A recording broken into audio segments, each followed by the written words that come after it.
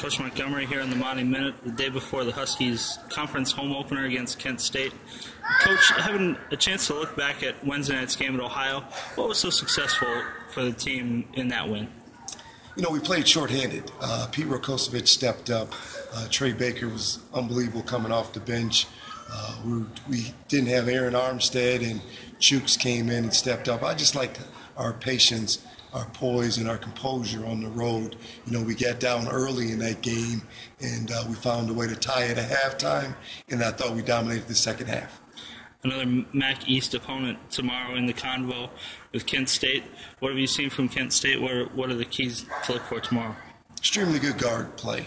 Anytime you have Brewer, Jackson, Manley in the backcourt, they're all capable of big nights. They have a transfer from Hofstra, which is Hall. Uh, he's a double-double guy probably one of the most athletic teams in our conference. Uh, Kent State's coming in nine and five, uh, very good uh, non-conference uh, record. Uh, it's going to be quite a battle, but look for Kent State to, to play pressure defense and get out and run. Thanks, Coach.